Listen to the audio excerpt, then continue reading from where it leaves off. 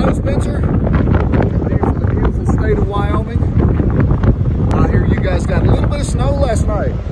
Just want to show you what we've got up here. I am currently shut down. I-80 is closed due to snow drifts.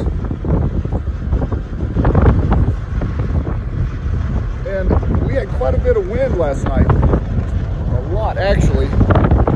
Blew a lot of snow in against trucks. Check this All out. this is snowdrift right here. Let's see if I can walk on top of it. Oh yeah, it's actually packed quite nicely. It's at least three feet deep just from where it's blown in.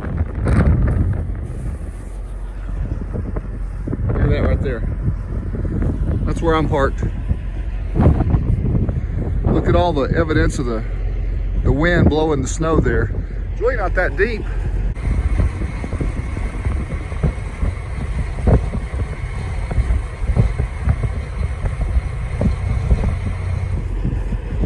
Now up into the mid 20s.